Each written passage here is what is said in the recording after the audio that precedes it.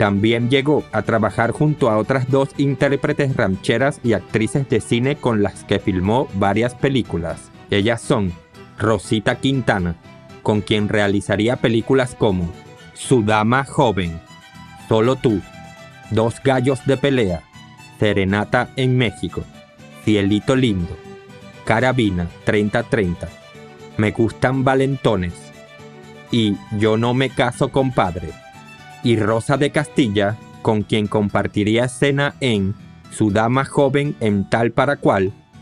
Aquí están los Aguilares, El Correo del Norte, La Máscara de la Muerte y El Tigre de Guanajuato.